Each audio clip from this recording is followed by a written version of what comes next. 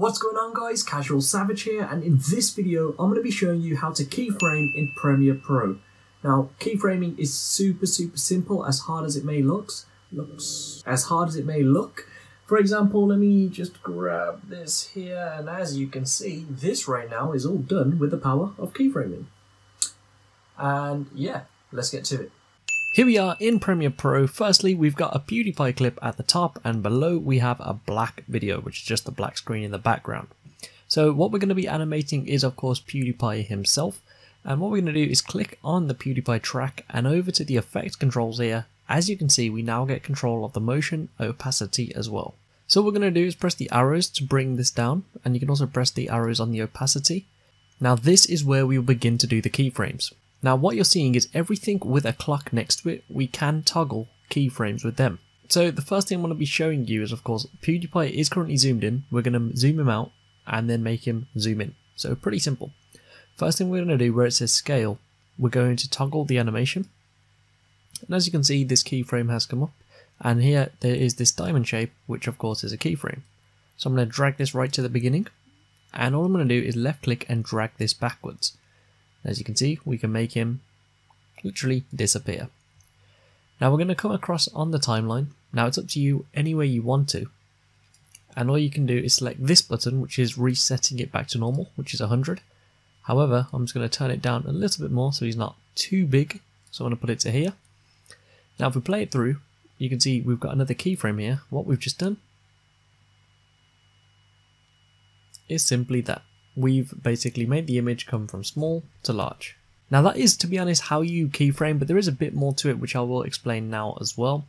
If, for example, you want to go to a specific keyframe, you can see if you click here, it doesn't actually go straight to it. So over here, you've got the arrow, as you can see, it selects the keyframes you have on your screen. Another thing, we can actually change the position. So you can see at the moment he's in the center, however, we can toggle the animation again. So again, on position this time, we can toggle the animation we can come across to the other keyframe so it's lined up here. And then if you press the motion tab over here, you can see you can then left click, drag your image or whatever you're doing wherever you want to. Let go. As you can see another keyframe has been created.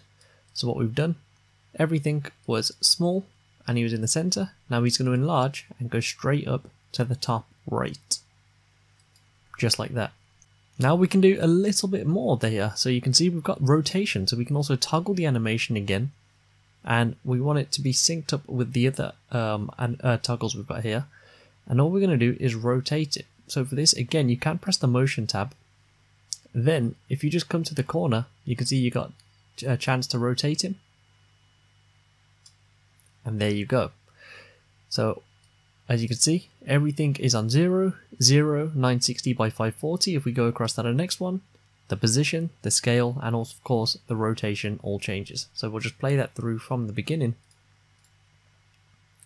So as you can see, he's enlarging and also rotating. And that's exactly what we wanted to create.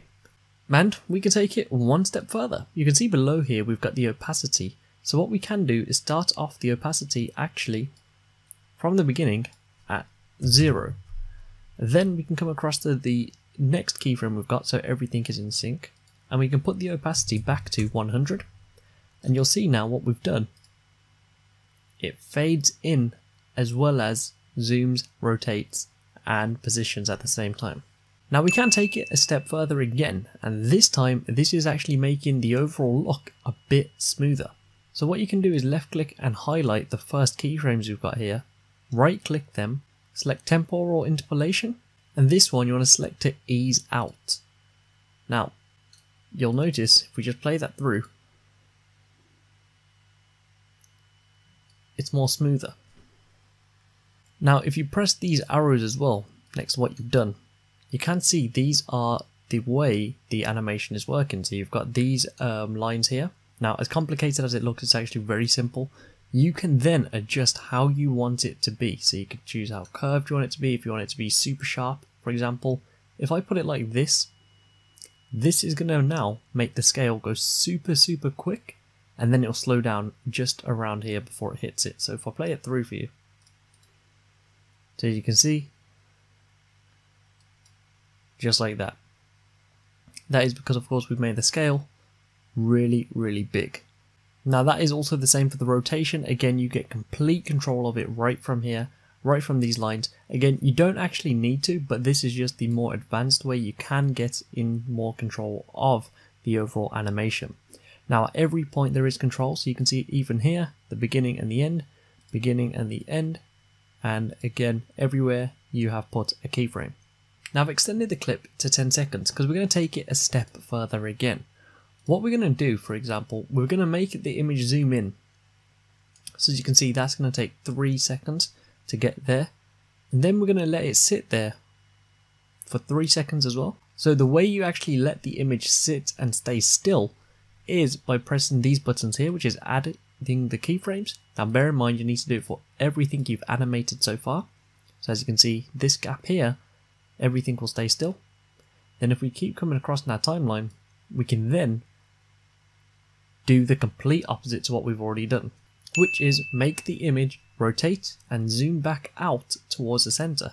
Now a very quick and easy way to do this, using the very first keyframes you've got, left click, highlight all of them, press Ctrl C, come back across on your timeline, left click, press Ctrl V, then left click and drag these to the end.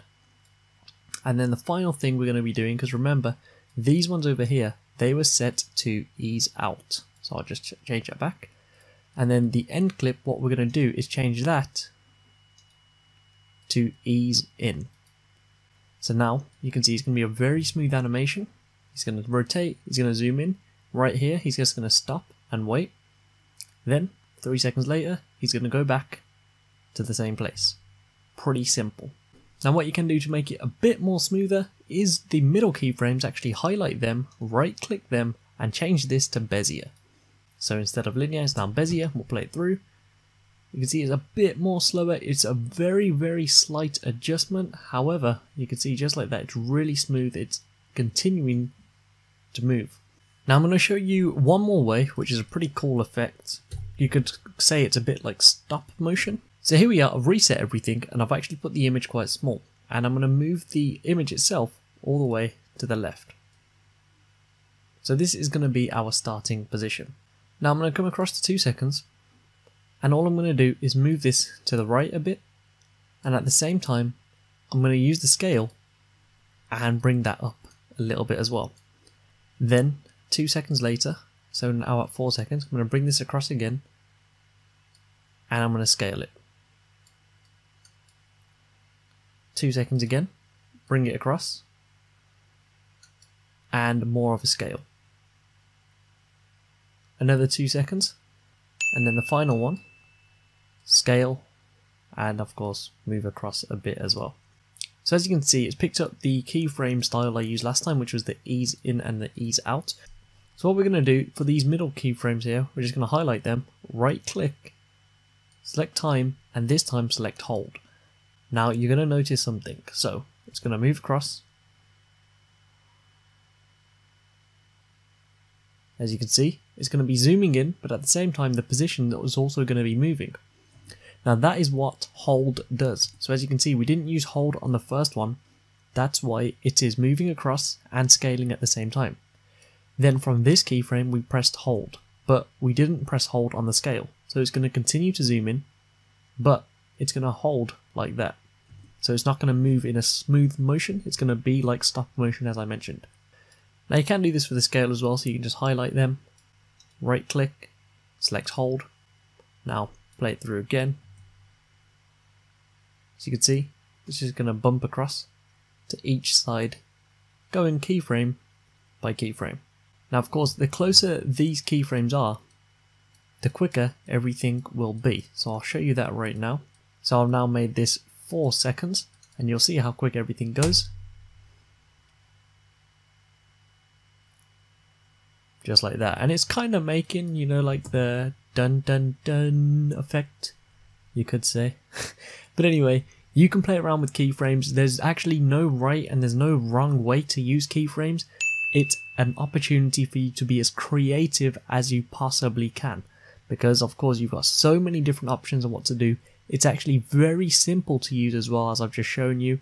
And if there is any questions you need, feel free to contact me on my social media. It's probably going to be the easiest way because then you can send me the videos and the pictures and I'll be able to help you a lot easier.